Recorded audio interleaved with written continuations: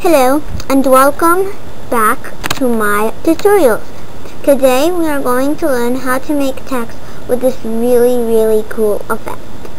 Now make a new canvas as always.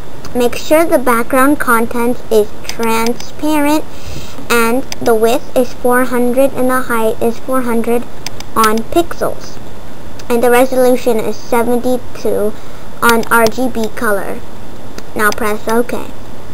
Now you will see um, black, I mean gray, gray and white squares, meaning it's transparent, which is good.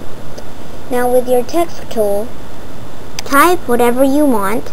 You can use whatever font you want, whatever size. I'm going to use impact on 60 point and make sure it's on sharp type. Now type whatever you want. I'm going to type Gia Tekla.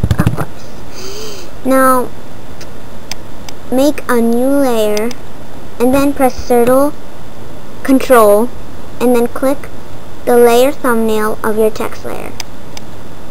It will select around your text. Now, press D then X to get a white foreground color. Go to Edit and then Fill. OK. And it'll fill with white color. Circle D to deselect. Now you probably won't see it, but because of the transparent background, it will help you see it better. Now get out your elliptical marquee tool. If you can't see it, it's either the rectangular marquee tool, the single row marquee tool, or the single column marquee tool. Right click on that and then select the elliptical marquee tool. Now, you would like to click and drag on the bottom of the text, just so. Now, press delete, and then press Ctrl D to deselect. Now, see this? This is called the Layers palette, the Channels palette, the Paths palette, the History palette, and the Actions palette. But right now, you would like to be on the Layers tab of this palette. Now change your opacity to 35%. Now you'll see that it's changed the white into a cool little layer where it's kind of like this um, transparent layer over uh, an opaque layer.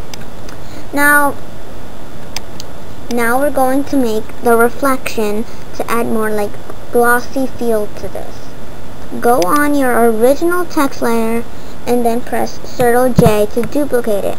You'll see um, a, a layer of your duplicate. Now select that and select the move tool.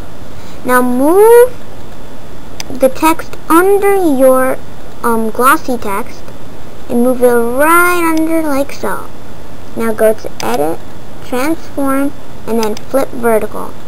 It will make the reflection, see, but it looked kind of confusing and not so good to the eye.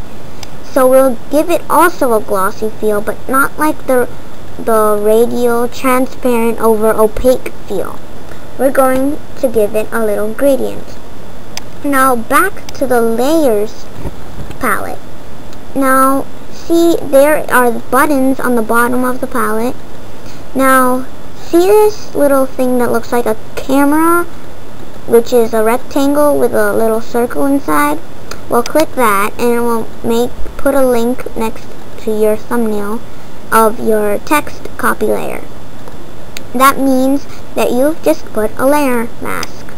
Now that will help us in giving a reflection feel to your reflection depth. Now get your gradient, press shift, and then gradient like so. Now it will give in the feel to it. Now you can lower the opacity of the thing if you want. I'm just going to make it 75 so it can be visible. Now if you would like to put some more coolness into it, you can make a new layer and move it down to put in a background. Or you can go to your original copy layer, I meant original text layer, go to blending options, and then give it outer glow. Normal, precise. Now it'll give it a little glow and you'll see a little F next to your layer. And that's the text tutorial. If I've gone too fast, I will make a new tutorial more detailed. I'm in a really, really big rush. So if you have any questions, please comment. And thanks for watching.